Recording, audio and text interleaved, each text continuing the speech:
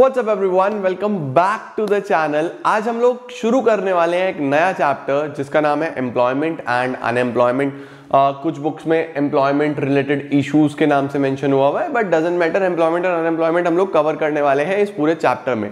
तो I think ये video आप लोगों के पास 10 बजे आ रहा होगा, और आज ही के दिन हम लोग कंप्लीट करने वाले हैं अपना पूरा इंडियन इकोनॉमिक डेवलपमेंट तो होपफुली आप लोगों ने काफ़ी इंजॉय करा होगा। और एक स्पीडीली सब्जेक्ट पूरा करना that is in itself achievement तो congratulation to all of you कि आप लोग पूरा कर पा रहे हो साथ साथ और अपनी स्टडीज़ को एक अच्छे मैनर में स्पीडीली कवर कर पा रहे हो। तो चलो, शुरू करते हैं जल्दी से। बस अगर ये सब एफर्ट्स या हार्डवर्क आपको अच्छा लग रहा है तो यार शेयर ज़रूर करना और जिन्होंने भी सब्सक्राइब नहीं करा प्लीज़ सब्सक्राइब करके जाना।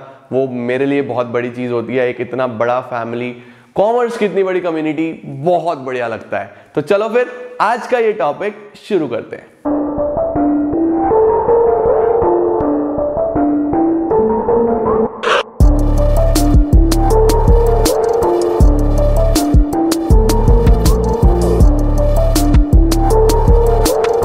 गाइज़ शुरू करते हैं हम लोग कुछ बेसिक कॉन्सेप्ट्स के साथ। चैप्टर का नाम है basically employment and unemployment but ज़्यादा जो बात होने वाली है वो अनएम्प्लॉयमेंट की होने वाली है। एम्प्लॉयमेंट का क्या है यार? एम्प्लॉयमेंट तो अच्छी चीज़ है।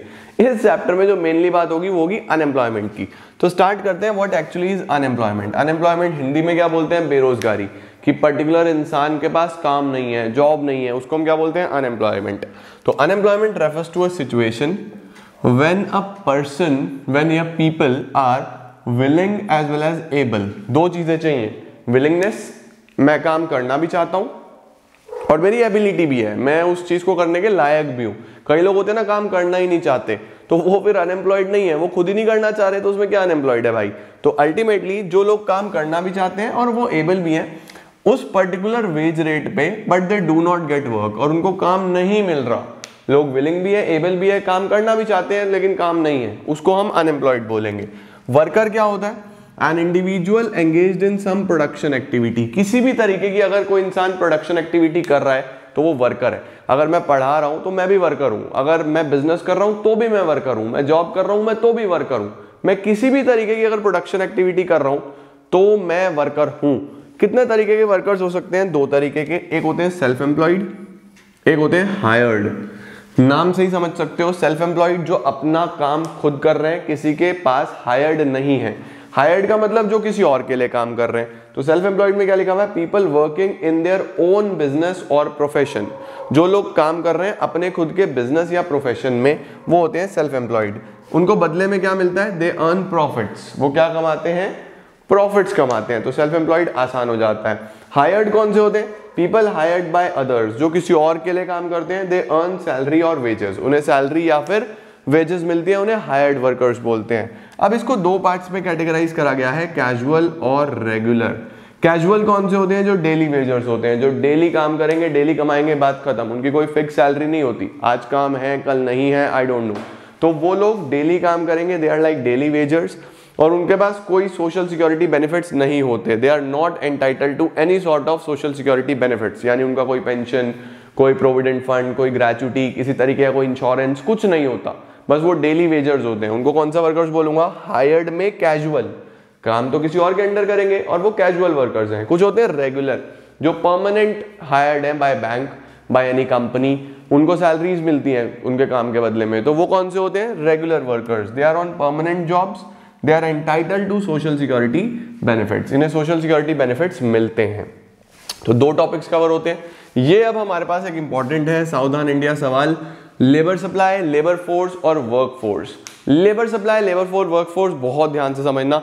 लेबर सप्लाई वो है the amount of labour which a worker is willing to offer at a particular wage rate दो चीज़ें ध्यान रखनी है। एक तो वेज रेट और इस पर्टिकुलर वेज रेट पे मैं कितना लेबर करने वाला हूँ? The amount of labour that a worker is willing to offer मैं ऑफ़र करूँगा at a particular wage rate मेरे वेज रेट पे। लाइक like सपोज़ मुझे कहा गया कि आपको अपनी ऑर्गेनाइजेशन में हम बीस हज़ार रुपए देंगे ट्वेंटी थाउज़ेंड मैंने कहा, ठीक है। सर अगर आप ट्वेंटी थाउज़ेंड रुपीज़ दोगे तो इस ट्वेंटी थाउज़ेंड के लिए तो मैं फाइव आवर्स ही काम करूँगा। लेट सपोज़ मैंने बोला कि मैं पाँच घंटे काम करूँगा। तो that is my labour supply the amount of labour which a worker is willing to offer at a particular wage rate. Wage rate is important, ठीक है? लेबर फोर्स क्या होता है? Number of workers actually working or are willing to work. This is not related to wage rate मैं कह रहा हूँ कि भाई, मैं तो काम कर रहा हूँ, या मैं काम करने के लिए रेडी हूँ, मुझे पैसे से मतलब नहीं है, मुझे आप बस काम दे दो। तो number of person actually working और विलिंग टू वर्क जो काम करना चाह रहे हैं this this is not related to a wage rate इसको क्या बोलूँगा? लेबर फोर्स और वर्क फोर्स क्या है? देखो अब ध्यान देना वर्क फोर्स क्या है? एक्चुअली वर्किंग लेबर फोर्स में दो लोग आए थे, जो काम कर रहे हैं या जो काम करना चाहते हैं। लेट सपोज़ मैंने बोला कि टोटल इकोनॉमी में सौ लोग हैं, चालीस काम कर रहे हैं, साठ काम करना चाहते हैं, ठीक है? तो ये सौ हो गए, ये काम कर रहे हैं, ये अभी कर नहीं रहे, लेकिन करना चाहते हैं, ठीक है? अब अगर मैं ये वाले हटा दूँ जो काम करना चाहते हैं। बस मुझे देखना कितने काम कर रहे हैं। That is work force that is work force क्या बोला? The number of person actually working is work force तो क्या मैं ये बोल दू क्या? लेबर फोर्स में से अगर ये वाले हटा दूँ तो हमारे पास वर्क फोर्स आ जाएगा। करेक्ट है? अब देखो, बेरोजगार कितने हुए भाई? बेरोजगार कितने हुए? यही तो बेरोजगार हुए। साठ, क्योंकि ये तो एक्चुअल में काम कर रहे हैं। तो क्या होगा? लेबर फोर्स देखो लेबर फोर्स 100 का था माइनस वर्क फोर्स जो एक्चुअली काम कर रहे हैं। 100 माइनस फोर्टी एट आता तो 60 आ जाएगा। ठीक है? ये आ जाएँगे number of person unemployed unemployed मतलब बेरोजगार। बेरोजगार कौन से होंगे? जो काम नहीं मिल रहा, जिन्हें, बात समझ रहे हो, जिन्हें काम नहीं मिल रहा। तो labour force minus work force इसमें से ये हटा दो। एक्चुअली वर्किंग हटा दो। तो जो काम करना चाहते हैं, वो आ जाएँगे। काम नहीं है। ठीक है? दोबारा से समझो। सबसे पहले लेबर सप्लाई जो सप्लाई करूँगा मैं अपनी labour corresponding to a wage rate ठीक है? लेबर फोर्स इससे वेज रेट का कोई मतलब नहीं है। दो लोग आते हैं इसके अंदर, एक जो एक्चुअली काम कर रहे हैं, दूसरे जो करना चाहते हैं। अब ये जो करना चाहते वाले हैं, इन्हें हटा दो।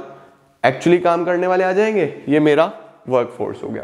क्लियर हुआ? फिर एक फॉर्मूला अनएम्प्लॉयमेंट का बता दिया। Labour force minus work force छोटे छोटे पॉइंट्स हैं। जल्दी से स्क्रीनशॉट लो, फिर चलते हैं नेक्स्ट टॉपिक की तरफ़। अब हमारे पास कुछ डेटा वाले क्वेश्चंस आते हैं जो कि बहुत इंपॉर्टेंट नहीं है और इवन बहुत सारे ऐसा अनइम्पॉर्टेंट डेटा दिया है जिसको आपको ध्यान नहीं देना। तो डेटा से रिलेटेड जो भी होगा मैं एग्ज़ाम से पहले आपको रिवाइज करा दूँगा। बट जो कुछ इंपॉर्टेंट डेटा था वो मैंने लिखा है। सबसे पहले जो हमारा साइज़ ऑफ़ वर्कफोर्स है, उसको चेक कर लो कि कैसे डिवाइडेड है। देखो, जितना भी वर्कफोर्स है वर्कफोर्स क्या होता है? जो एक्चुअली वर्किंग है है ना? जो एक्चुअल वर्कफोर्स है, उसमें मेल परसेंटेज सेवेंटी परसेंट है, यानी अगर सौ लोग काम कर रहे हैं तो उसमें 70 मेल्स होंगे और 30 फीमेल्स होंगी, ठीक है? 30 परसेंट फीमेल। अब अगर हम टोटल देखें कि यार रूरल और अर्बन वर्कफोर्स कितना है, कि अगर 100 लोग काम कर रहे हैं मेल फीमेल को छोड़ो टोटल 100 लोग काम कर रहे हैं तो उसमें से 70 परसेंट रूरल एरियाज़ से होंगे और 30 परसेंट अर्बन एरियाज़ से होंगे। यानी कि अर्बन एरियाज़ में अभी भी काम की कमी है। 70 परसेंट रूरल एरियाज़ से देखने को मिलेंगे 30 परसेंट अर्बन एरियाज़ से। अब रूरल एरियाज़ से लेट सपोज़ 100 लोग मिले रूरल एरिया से लेट सपोज़ 100 लोग मिले तो उस 100 में 58 परसेंट लगभग मेल होंगे और 41 परसेंट फीमेल होंगे, ठीक है? अर्बन एरियाज़ में अगर 100 लोग मिले लाइक सपोज़ ये 30 परसेंट सो होते 100 लोग मिले तो मेल होंगे 64.7 परसेंट और फीमेल होगा 35.3 परसेंट डेटा में vary from book to book year to year अलग अलग डेटा हो सकता है बट आप लोगों को मेन जो चीज़ समझनी है वो समझनी है कहाँ ज़्यादा, कहाँ कम। एग्जैक्ट नंबर्स पे मत जाओ। बट एक कॉम्पोजिशन समझो कि कैसे बना हुआ है, ठीक है? ये तो बेसिक अगर आप नहीं भी पढ़ोगे तब भी चलेगा। अब आता है मेरे पास ऑक्यूपेशनल स्ट्रक्चर कि जो वर्कफोर्स है, वो कौन से सेक्टर में ज़्यादा लगा हुआ है? प्राइमरी में सेकेंडरी में या टर्शरी में? तो देखो प्राइमरी में इंडिया में प्राइमरी यानी एग्रीकल्चर सेक्टर ऑलमोस्ट 43 परसेंट लोग 44 परसेंट लोग, अभी भी, आज भी। 43.8 लगभग 44-45 परसेंट लोग आज भी प्राइमरी सेक्टर में सेकेंडरी में अभी कम है प्रोडक्शन सेक्टर कोई बहुत ज़्यादा हमारा ग्रो नहीं हो रहा 24.7 परसेंट लेकिन जो हमारा टर्सरी और सर्विस सेक्टर है, वो है 31.5 परसेंट यही इंडिया में है, जो सबसे पहले प्लेस पे है, वो है प्राइमरी सेक्टर इंडिया में। नंबर टू पे है हमारे पास टर्सरी सेक्टर फिर उसके बाद नंबर थ्री पे हमारे पास आता है सेकेंडरी सेक्टर इस तरीके से हमारी वर्कफोर्स एंगेज्ड है। करेक्ट तो कुछ ये डेटा बेस्ड क्वेश्चन थे जो हमने कवर अप करे। इसके बाद हमारे पास कुछ छोटी छोटी टर्म्स आती हैं, जैसे सबसे पहले आता है जॉबलेस ग्रोथ जॉबलेस ग्रोथ देखो ग्रोथ हो रही है, लेकिन जॉब्स नहीं है।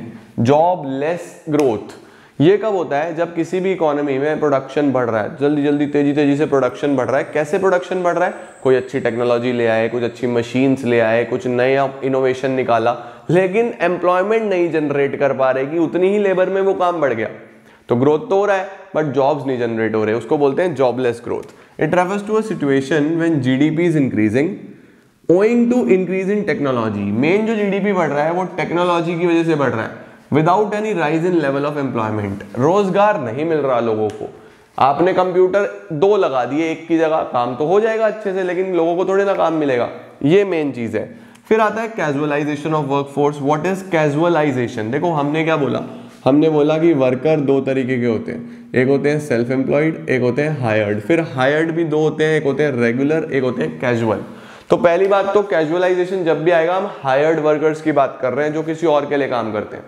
अब अगर मैं कहीं और हायर्ड हूँ और मुझे अपना काम, एक रेगुलर काम नहीं मिल रहा मतलब मुझे परमानेंट काम नहीं मिल रहा मुझे बस कैजुअल लेबर मिल रही है। कैजुअल का मतलब वही कि आज मिली, कल पता नहीं मिली डेली वेजेस वाला काम मिल रहा है। तो वो लोग, अगर ऐसे लोग बढ़ते जा रहे हैं किसी इकोनॉमी में, उसको बोलते हैं कैजुअलाइजेशन यानी कि अगर किसी इकोनॉमी में ऐसे लोग ज़्यादा हैं, जिनके पास परमानेंट वर्क नहीं है, वो बस डेली का काम करते हैं, वो दिहाड़ी वाले लोग तो उनको कैजुअलाइजेशन कहा जाता है।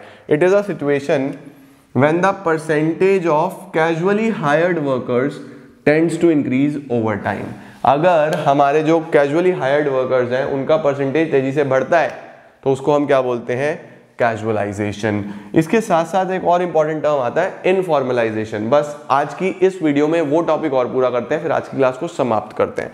जल्दी से इसका स्क्रीनशॉट ले लो, फिर आगे बढ़ते हैं इनफॉर्मलाइजेशन तो लास्ट टॉपिक हमारे पास आता है इनफॉर्मलाइजेशन अब इनफॉर्मलाइजेशन समझने के लिए मुझे पहले आपको इधर लेके आना है। देखो वर्कर्स को मैंने दो कैटेगरीज में डिवाइड करा फॉर्मल और इनफॉर्मल फॉर्मल वर्कर्स कौन से हैं जो ऑर्गेनाइज सेक्टर में काम करेंगे? जैसे कि गवर्नमेंट डिपार्टमेंट्स हो गए, जिनको सारे सोशल सिक्योरिटी बेनिफिट्स मिलते हैं, जो ट्रेड यूनियंस बना सकते हैं। मतलब अपने काम में सेफ़ हैं सिक्योर हैं, वो सब फॉर्मल वर्कर्स होते हैं।